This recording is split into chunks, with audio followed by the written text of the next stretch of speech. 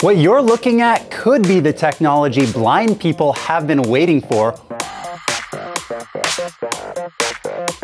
Welcome to What the Future. Today, we've got a first in human bionics, a concept vehicle aimed at disrupting modern air travel, and robotic handiwork like we've never seen. First up from the University of Minnesota, this is time-lapse video of engineers building the world's first 3D printed bionic eyeball. Now what we're seeing is the circuits being built on a glass hemisphere that simulates the shape of an eye. It's essentially an array of receptors that turn light into electricity. This whole thing took just about an hour. Scientists say this is still early stage technology, so don't expect to see this anytime soon. But it's a huge step toward one day helping the visually impaired. Now, scientists say the next big step is finding a way to print on a soft material that could be implanted into a real eye. Next up, the TF2 concept vehicle. The company behind it, Terrafugia, thinks it could transform on-demand travel. Here's the idea. This road vehicle picks you up and takes you and your bags in a detachable pod. You travel to what Terrafugia calls a vertiport nearby, a vertical takeoff vehicle meets you there and carries your pod to a vertiport near your destination.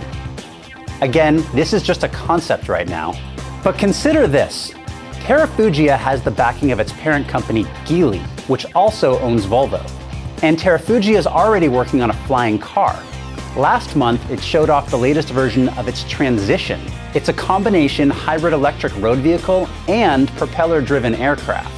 Terrafugia says the first production model of the Transitions will be available next year. We've never seen dexterity on a robotic hand like this. It's thanks to a special artificial intelligence from OpenAI called Dactyl. Most of the robots you've seen are programmed to complete tasks, like opening doors and turning valves, so they can't adapt when something goes wrong. But Dactyl actually learned to manipulate this block. Here's how. Engineers showed Dactyl hundreds of simulations. Then, they asked Dactyl to perform a task, like putting a specific side of the block facing up. This wasn't the first time OpenAI had put Dactyl through these simulations. But this time, they started messing with it. They challenged Dactyl by changing up conditions like the size of the cube and even gravity, so Dactyl could learn to deal with the unexpected. Dactyl studied about 100 years worth of simulations to get where it was in this video. So that means robots still have a long way to go before matching the human ability to learn things relatively quickly.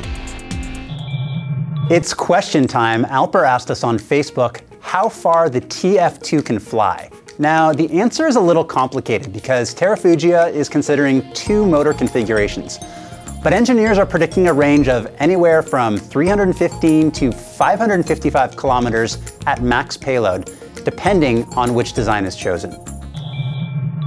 All right, what makes you say WTF? Leave your question in the comments below. That's gonna do it for this show. I'm Andy Altman. Thanks for watching.